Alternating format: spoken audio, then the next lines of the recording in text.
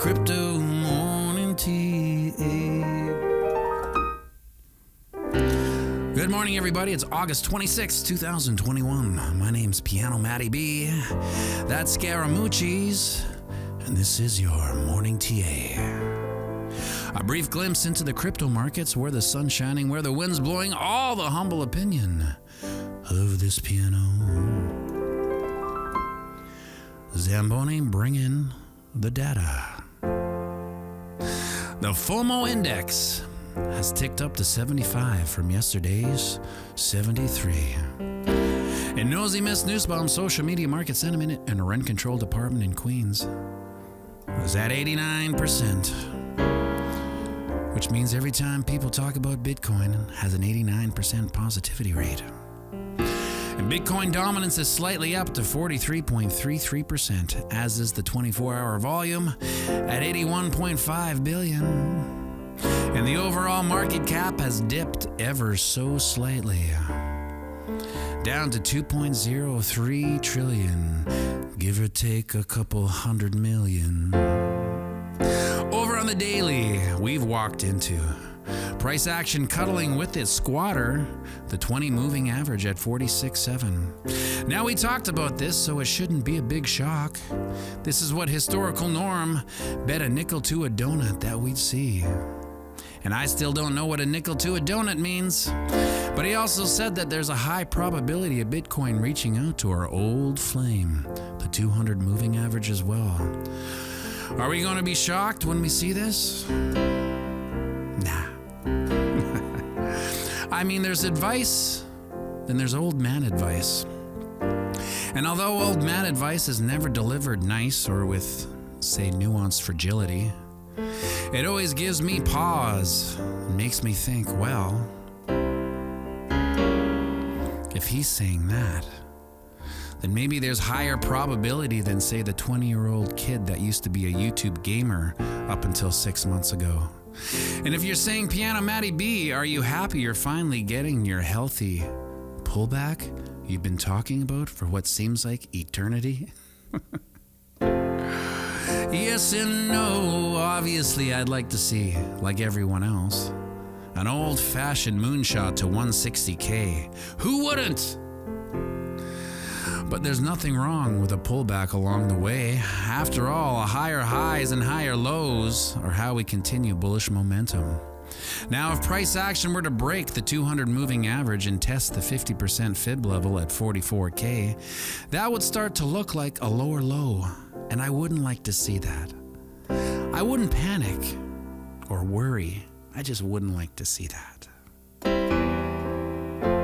It would be like going to see your favorite band, you know, the Dippin' Pumps. Back when bands actually played live, yeah, they played live. and the singer just wasn't having a good night. Not hitting those marquee high notes that you've been waiting for. You still like the band, of course, but it would leave a rather bad taste in your mouth moving forward. And every time someone brought up the Dippin' Pumps in conversation, you'd have to interject and say, I saw them live and the singer, he just wasn't that great. And now you're that guy that says those things. Now there's some sunshine on this bearish pullback, and it comes in the form of low volume. So take a look at the candle, take a look at the volume. When you see a move like this with low volume like that, it tells us there isn't a lot of people at the concert.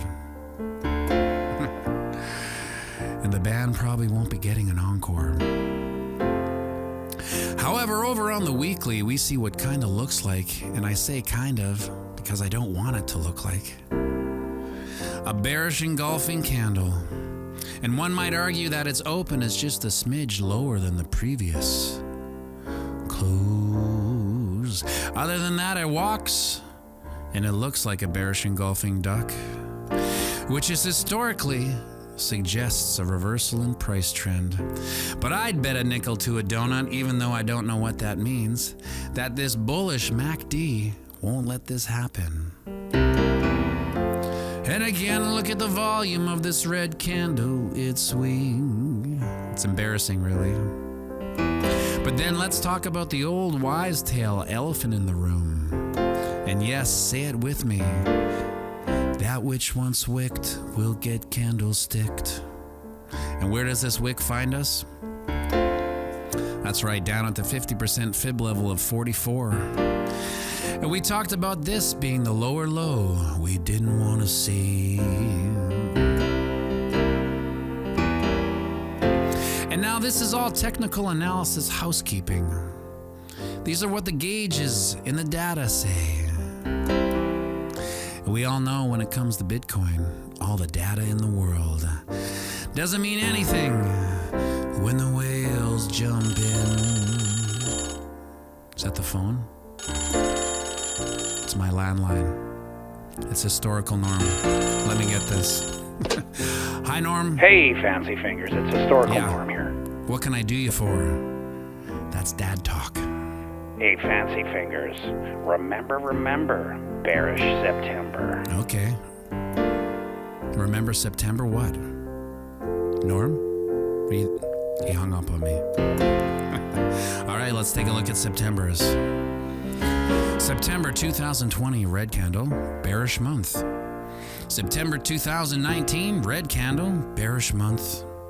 September 2018, red candle, bearish month. 2017 bull run green candle.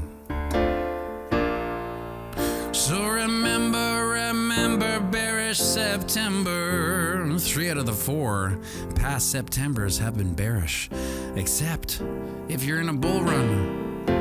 And guess what we're in, my friends? That's right, a bull run. So speaking of remembering, we're playing the same game as our psychopathic elected lead.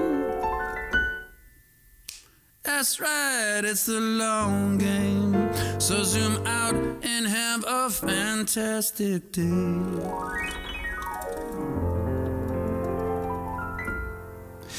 It